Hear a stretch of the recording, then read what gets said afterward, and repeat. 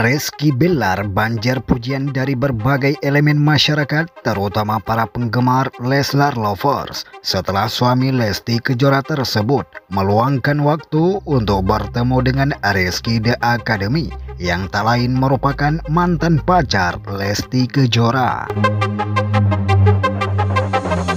Pertemuan mereka tersebut langsung menjadi buah bibir publik saat ini Beragam komentar pun turut dilontarkan pada mereka setelah video pertemuan Rizky Bilar dan Rizky The Academy trending di berbagai media sosial.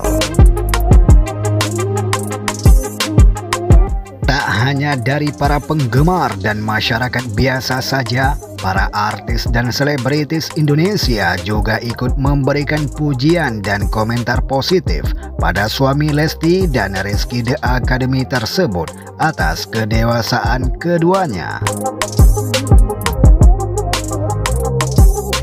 Usai bertemu dengan mantan pacar Lesti Kejora tersebut, Rizky Bilar juga sempat memberikan komentar menyejukkan ke media Menurut suami Lesti Kejora itu, sosok Rizky The Academy tersebut orangnya baik, dewasa, dan asik diajak bicara, tutur Rizky Bilar.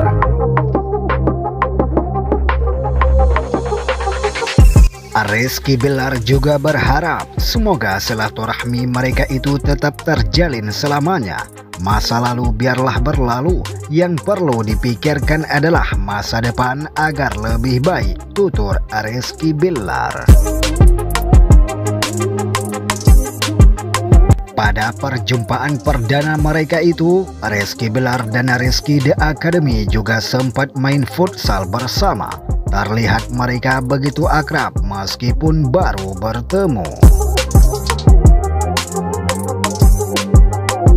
Dalam pertemuan itu, kembaran Rizky The Academy yakni Rido Dea juga ikut menemani. Tak hanya mereka saja, beberapa sahabat dari mereka juga ikut bermain bersama seperti Teguh Wisnu, Taki Malik, dan beberapa lainnya.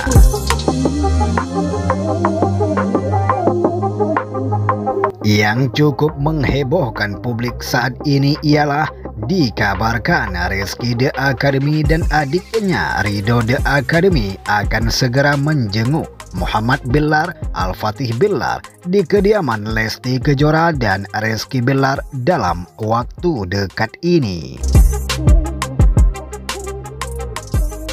Begitulah informasinya.